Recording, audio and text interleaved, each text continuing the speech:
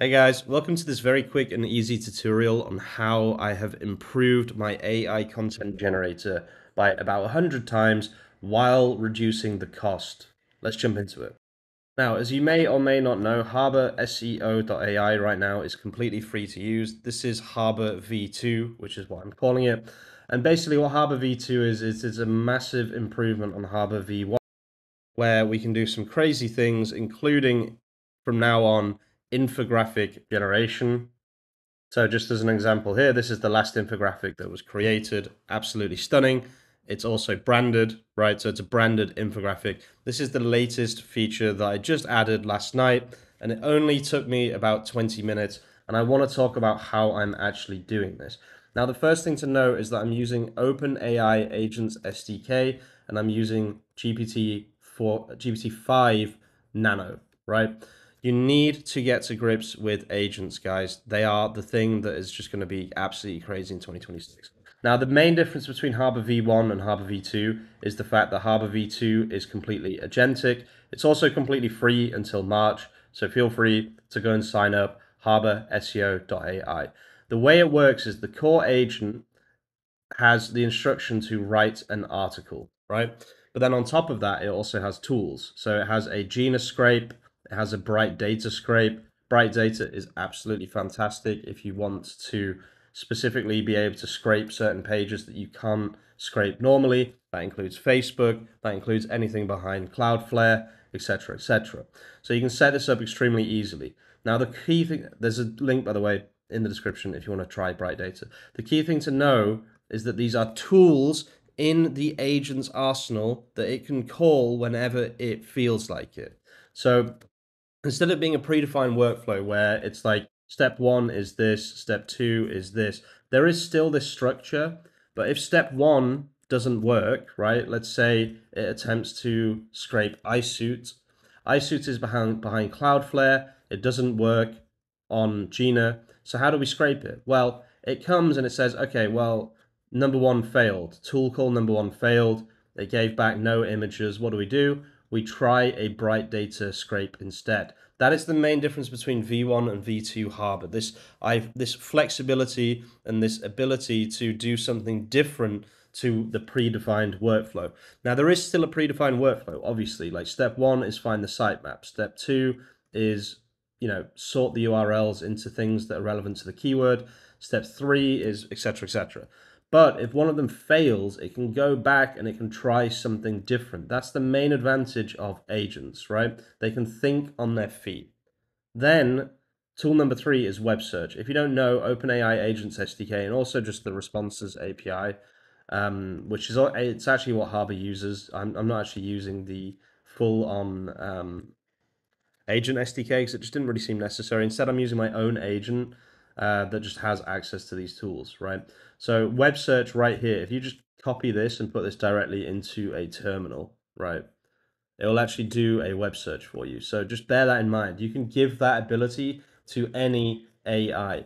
This is like perplexity on eight lines of code, right? Everyone goes crazy for perplexity, perplexity API. You can make your own perplexity in two minutes using these eight lines of code, right? And then the one that I just added, and the reason, the main reason I'm making this video is um, image generation inside the content generation. So while I was just talking, then it created another one. Right, this one here, because I'm just testing right now. So what I'm trying to explain to you guys is just how simple and easy it is to add features like this to your agents. Once you've got that base content writing agent down, all you have to do is say, okay, now add a tool that allows the agent to create infographics. Bang, done. This is now live on the website. Anyone that goes and generates an article now will be greeted with this new feature. This took me under an hour to add this feature. If I try, if I had tried to add this to Harbor V1, it would have taken me. I, I don't even want to know how long it would have taken me, right? And then basically all you do is just keep adding tools. So like my next tool might be something new. I don't know what. Don't have anything in my head right now.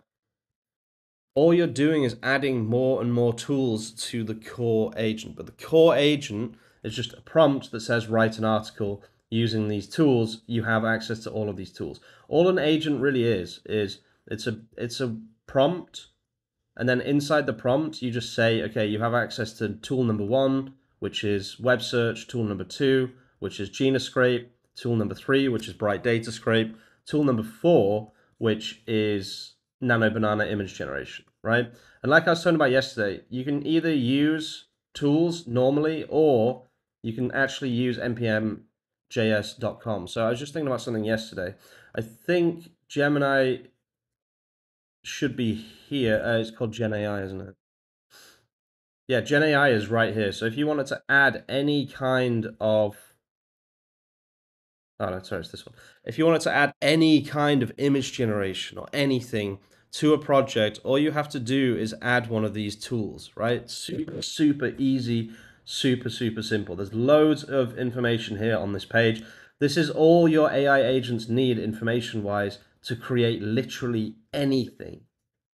So yeah, main things to note, guys, HarborSEO.ai now has um, uh, infographic generation.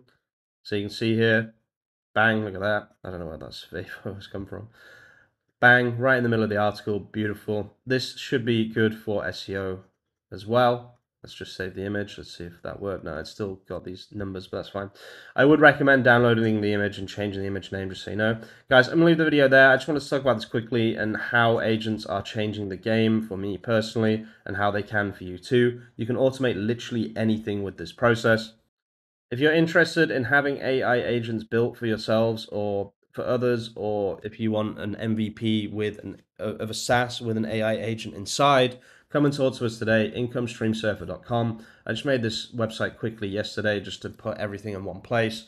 Uh, you can book a call with us. You can talk to us. We can either create AI agents for you or an MVP for a SaaS with AI agents inside. Thank you so much for watching. If you're watching all the way to the end of the video, you're an absolute legend. I'll see you very soon with some more content. Peace out.